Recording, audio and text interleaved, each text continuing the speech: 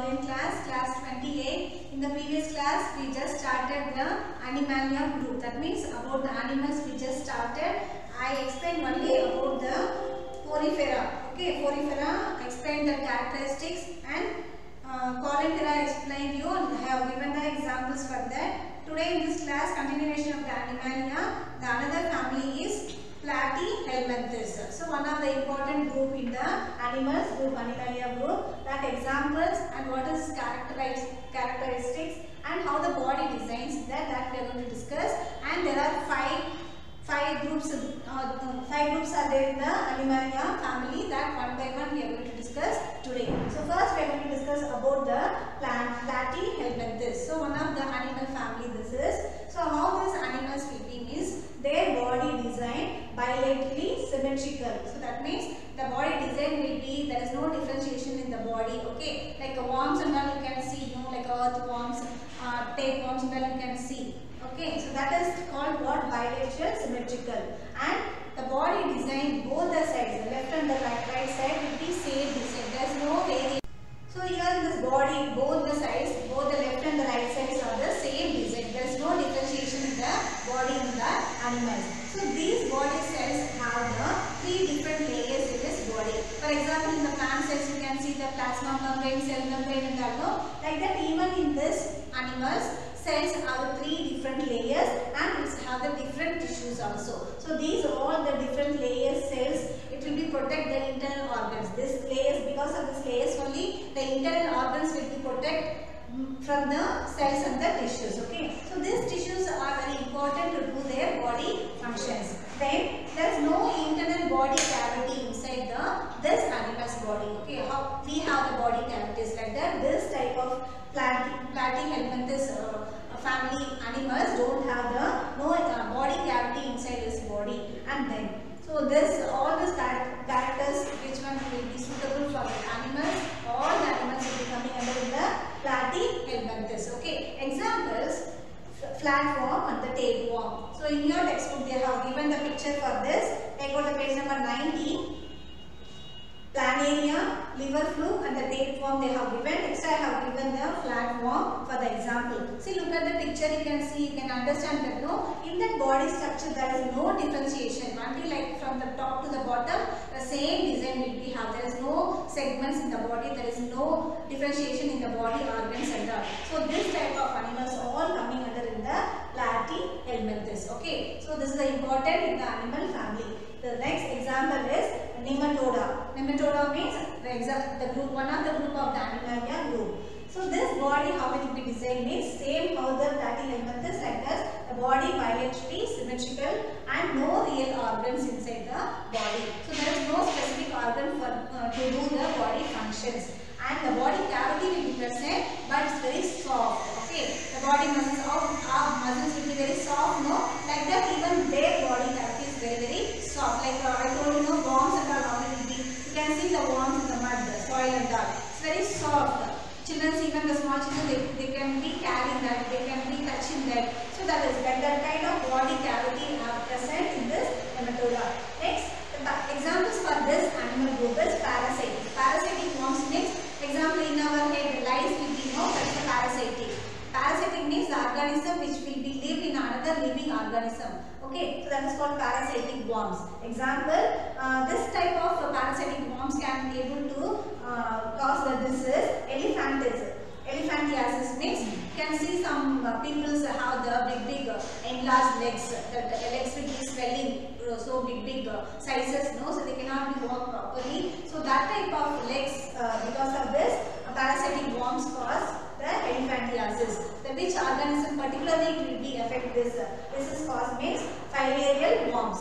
So once this worms will be entered to the human body means that person will be affect this disease. That uh, all will become too so big big in size. So once it will be entered to our body means it's not easy to cure it. Okay. So you can see like uh, some few persons like that disease will be infected. So that's important and worms in the intestine. In our body, uh, intestines, uh, you know, body intestine organ is there, no? Inside that intestine, this type of uh, nematoda animal will be uh, living. Okay, so that is example roundworms and the pinworms. So these are the example for the intestine worms in our body. So all this type of animals will be coming under the animalia. These are very small organ, means small animals. We can see this type flat worms, state worms, and all we can see in our uh, environment only. The soil we can see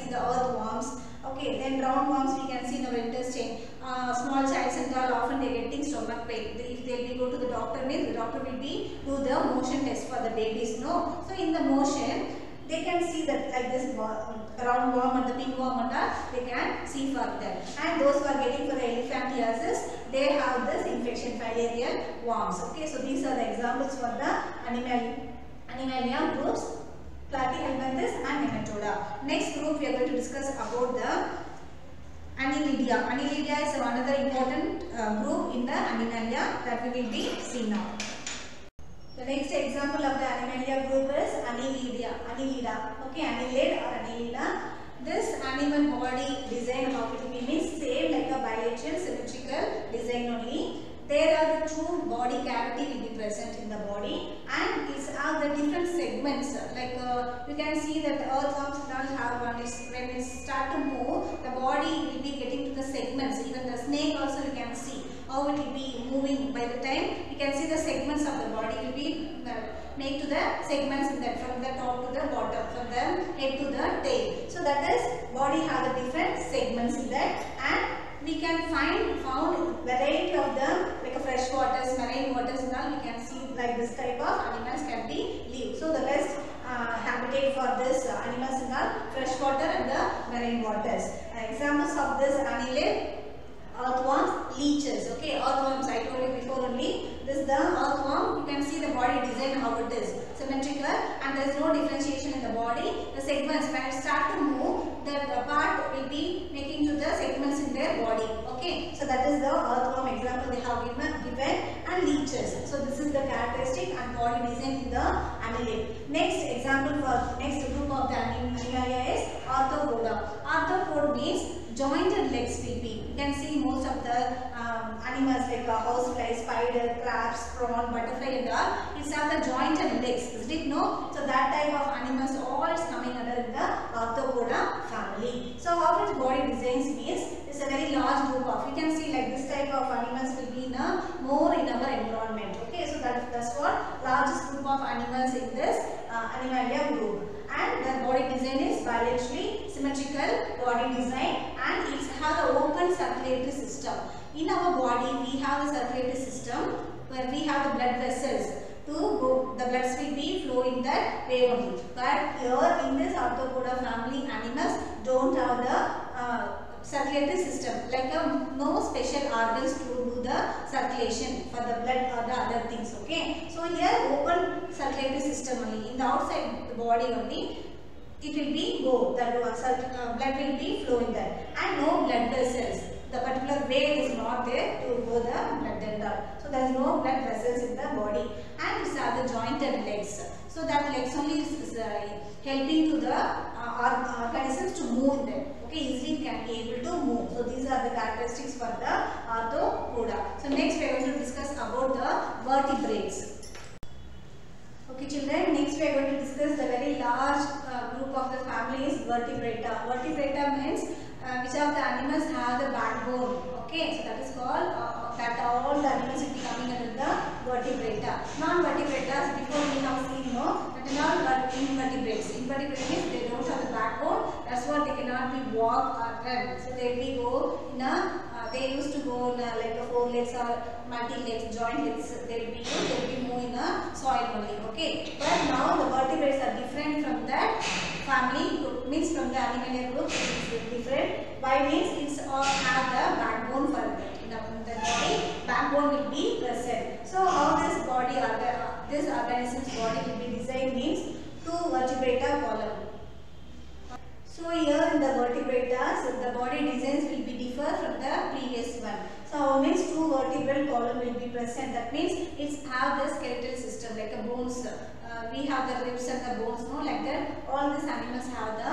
vertebral column and skeletal system will be formed. This skeletal system only the body design will be made in that, the structure will be. And the muscle attachment points to be used for the movement. Because of the muscles only, the body can be able to move easily from one place to the another place. And moreover, this muscles only will be cover the uh, skeletons or, and the internal organs in our body. Okay. Then the body design will be say bilaterally symmetrical and triploblast. The layers different layers like our skin can, uh, for example, our skin have the different layers in that. So like that, you have the segment and triploblast body segments will be present in that. And there's different body, it's have the different body tissues and this type of body tissues can able to make a different organs in our body. Okay. So in the vertebrates, even examples for the human beings will be coming that what the, how our body will be designed. No, that is only this characteristics. Okay. So what are the features of this vertebrates means have a notochord. Notochord means it like a, it's have the like a differentiation body parts in there and dorsal nerve system will be have and it's have the pair gill pouches. That means through the uh, uh, gills only the fishes can breathe, no? So like that, each have a special organ to um, uh, breathe. So for example, here you can say the uh, fish. Okay, so what are the examples for this vertebrates means Pisces, P-I-S-E-S pronounced, Pisces, Amphibia and repti Reptilia and Aves. Okay, so these are the examples for the vertebrates. So one by one you will be seeing. In your textbook, take out the page number 92. Okay, 92 first we are going to discuss about the Pisces. Pisces means these are the fishes. All the fishes will be coming under this Pisces group. They are exclusively aquatic animals. You know very well the fishes are the aquatic animal. Their skin is covered with the with scales. You can see on the fish body like round round whitish round round no that is called all scales. Scales or plates. They obtain oxygen dissolved in water by using gills. How the fishes can be breathed means how we can be able to take the oxygen from the water means the oxygen will be present in a dissolved form in the water. Is it no H2O molecule, molecular formula for the water. So there the oxygen will be dissolved in the hydrogen water molecule. So here this oxygen will be go through this gills. So you can able to breathe the oxygen through their gills. The body is streamlined. You can see the streamline like uh, like how the fish uh, body structure like this no. So this is the streamline. You can able to easily can able to easily move the water. Okay. So that is called streamline. These are the streamline. And the body is streamlined and the muscular tail is used for the movement. And it's uh, the muscular tail. What the use of the muscular tail means? It's used to uh, move the move, movement for the body movement. It will be used. They are cold-blooded and their hearts hearts have only the two chambers.